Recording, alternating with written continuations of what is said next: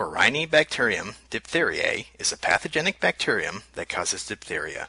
It is a gram-positive, non-motile, club-shaped bacillus.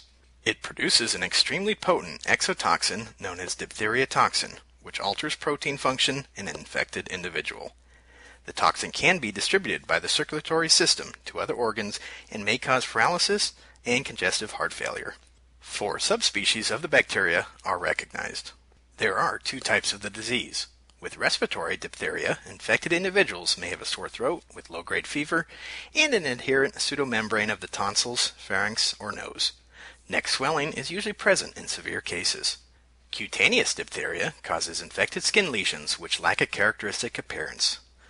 Myocarditis, polyneuritis, and airway obstruction are common complications of respiratory diphtheria, and death may occur in 5 to 10% of these cases. Complications and death occur less frequently with cutaneous diphtheria. Diphtheria is found worldwide, and humans are the only known reservoir of the microbial pathogen. Person to person transmission occurs through oral or respiratory droplets, close physical contact, and on occasion by fomites. Cutaneous lesions are an important mode of transmission, particularly in countries with warm climates. Infections are rare in properly immunized people, although people who have been immunized may still be carriers of the bacteria. To learn more about Corynebacterium diphtheriae or other microbial pathogens and indoor air quality contaminants, please visit the website shown on the screen.